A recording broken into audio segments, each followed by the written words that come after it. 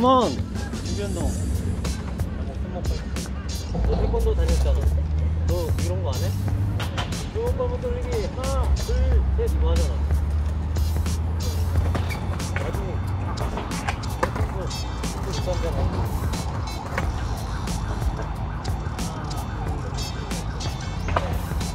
세우고 여기가 여기 땡기게 상체로 이렇게 누르고 어? 땡겨 안 땡겨? 그래 이렇게 하라고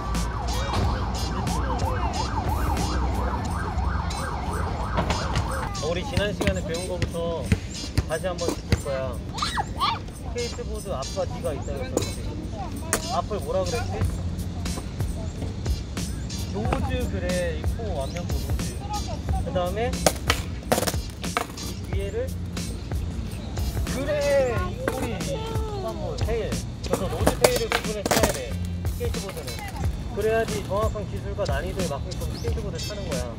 우리 지난 시간에 뭐 배웠지? 뭐 기억 안 날 수 있어. 몸이 몸이 기억하니까.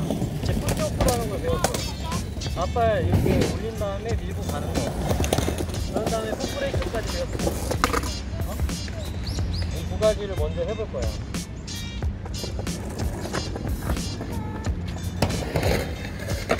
할 때는 풋브레이크. 풋브레이크 그렇지 잘했어. 부드럽게 잘 멈추네. 지난 시간에 배운 거 풀스티오프랑 풋브레이크를 좀 더 연습하고 몸이 좀 풀리면 그때 알리 바로 할 거야. 알았지? 일단 연습 연습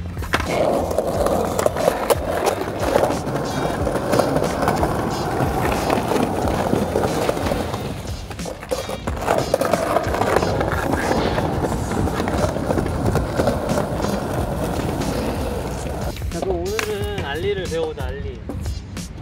알리가 뭐지? 몰라. 자 알리는 그렇지 맞아. 점프하는 기술이야. 점프해봐. 제자리 점프. 그렇지 그렇게 점프하는 기술인데 그 점프하는 순간에 다리를 이렇게 움직여야 돼. 해봐. 다리를 가슴으로 끌어올려. 그렇지. 그거를 공중에서 스케이트보드랑 같이 움직여야 돼.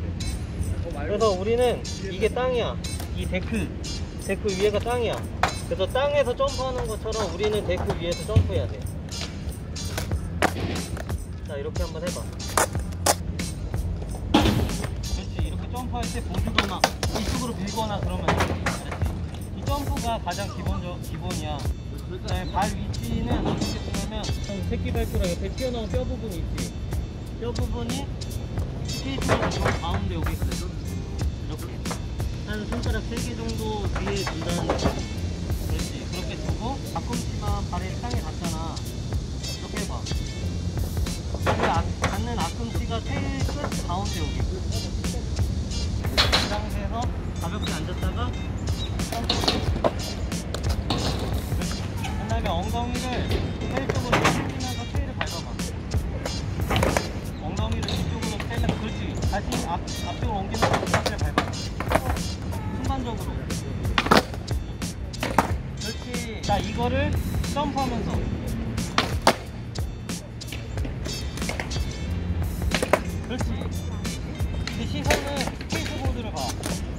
근데 스케이트보드 볼 때 막 허리가 이렇게 구부러지면서 보는 게 아니라 시선만 아래로 두고 발 위치가 내가 말한 발 위치에 두는 건지를 보는 거야. 그 다음에 가볍게 앉고 점프.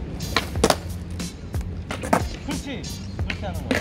뒤를 처음에 좀 알아야 되는데 뒤를 먼저 누르는 이유는 뒤를 누르면 앞에가 올라오지. 그 올라오는 힘을 앞발로 이용해서 일단 끌어올릴 거야. 그럼 위로 올라가는 힘 때문에 끌어올라가야 될거 아니야 그때 발을 앞으로 밀고 그럼 뒤에가 이렇게 올라올 거야 근데 여기서 중요한 거는 테일을 그냥 땅으로 차는 게 아니라 좀 뒤쪽으로 밀어서 찰 거야. 그럼 뒤쪽으로 이렇게 밀려서 이렇게 올라올 거 아니야? 그럼 이렇게 앞에를 막으면 이 올라가는 힘에 의해서 테일이 자동적으로 이렇게 그 다음에. 이 뒤쪽으로 차야지. 이 뒤쪽으로. 이렇게. 처음엔 그게 좀 잘 안 되니까 일단은 밑으로 차. 그리고 앞발 같은 경우에는 탑을 찼, 찼다라고 생각하고 발이 이렇게 될 거 아니야? 발을 이렇게 만들어 봐. 앞발을 대기차기 하듯이 안쪽으로 잡아. 그 다음에 옆면으로 끌어올리는. 그래서 옆면으로 끌어올리는 거야. 근데 여기서 중요한 건 이 앞꿈치가 이렇게 내려가면 안 돼. 앞꿈치는 이쪽으로 당기면서 들어 올리는 거야.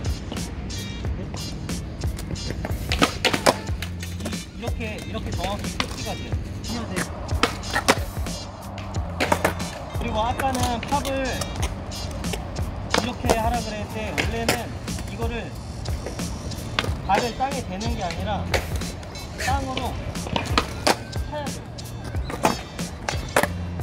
처음에는 이 모든 거를 다 동시할 수 없으니까 가볍게 점프하면서 하는 연습. 그 다음에 다리가 결국 좀 칠자가 만들어지거든, 칠자. 이거를 만들려고 한번 해봐. 그렇지, 잘했어. 좋아. 더 앉아. 점프를 확실히 한다는 느낌으로. 그치. 좋아. 발 위치는 항상 똑같은 위치에다가 놓고 연습을 해야지 습관을 고칠 수 있거든? 근데 발 위치가 계속 바뀌면 당연히 자세가 계속 바뀌어. 알리하는 자세가. 그러니까 발 위치는 한 번 할 때마다 똑같은 위치에다가 둔다고 생각하면 돼. 그리고 앉아. 앉았다가 점프를 확실히 하면서. 좋아. 이렇게라도 일단은 연습이 돼야 돼. 좋아, 좋아, 좋아. 그리고 발을, 뒷발을 찰때 그냥 여기서 땅으로 그냥 누르는 게 아니라 발목을 쭉 피듯이 해가지고 땅으로 차는 거야. 이렇게 하면은 땅에서 다그닥 다그닥 돼. 땅으로 차면 튕겨. 이탕 튕긴단 말이야. 이걸 이용하는 거거든.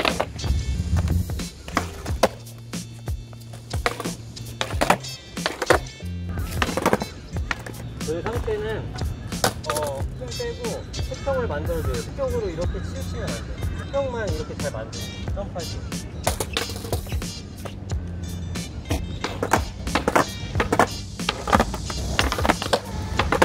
좋아. 여기서 알리를 했는데 보드가 살짝 틀어졌잖아. 그 이유는 뭐냐면 네가 팝을 이렇게 일자로 찬 게 아니라 앞쪽으로 살짝 위로 차서 그래.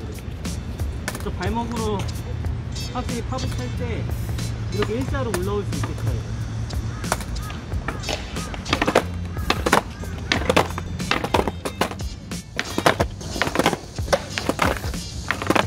이게 자세를 만드는 과정이니까 처음에 안 되는 게 맞거든? 너 지금 젓가락질 잘해? 젓가락질 처음엔 어렵잖아. 근데 매번 계속 연습하다 보니까 조금씩 잘 되고 익숙해지잖아. 그런 차이야.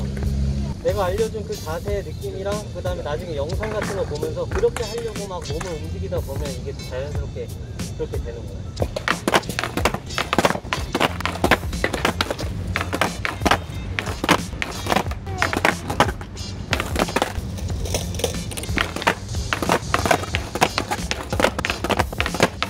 잘 돼? 잘 되고 있어? 오, 보자. 보드가 이렇게 돌아갔잖아. 돌아간 거 왜 돌아갔는지 알겠어? 어, 이렇게 하니까 돌아가네. 그럼 이렇게 하면 안 되겠다라는 생각을 해야 돼.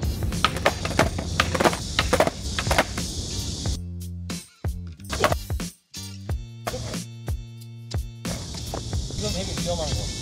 잘했어. 그냥 바로 보드에서 내려오는 거야. 근데 문제는 보드를 날렸을 경우에 혹시나 이쪽에 사람이 있었으면 맞았잖아. 그런 거 조심해야 돼.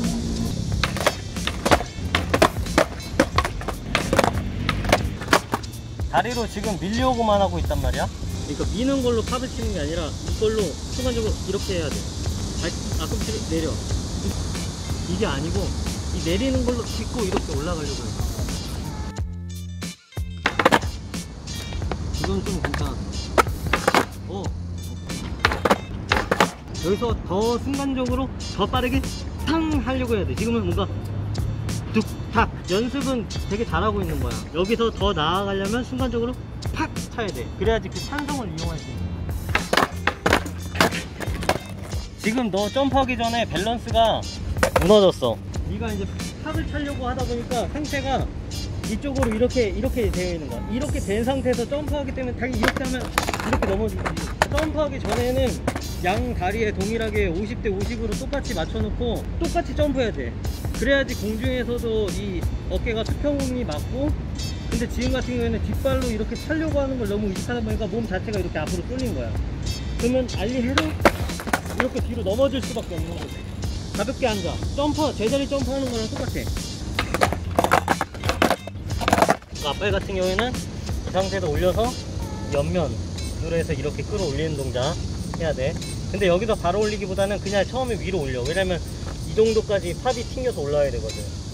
만약에 여기서 캐치하잖아? 그럼 높이가 이 정도밖에 안 되는 거야. 근데 여기서 더 올려서 여기서 민다. 이렇게 높이가 되는 거야. 오케이? 더 위로 들어 올려서 하면은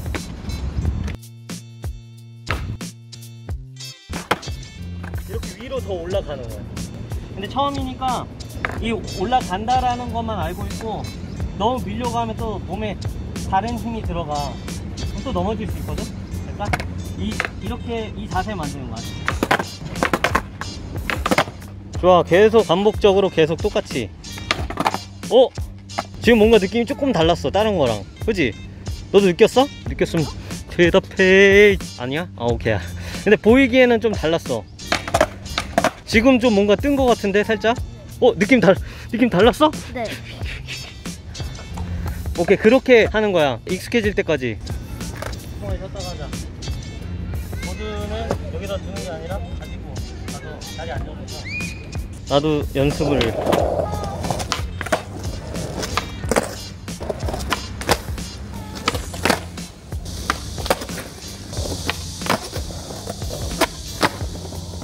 꾸역꾸역 다 타긴 탔다.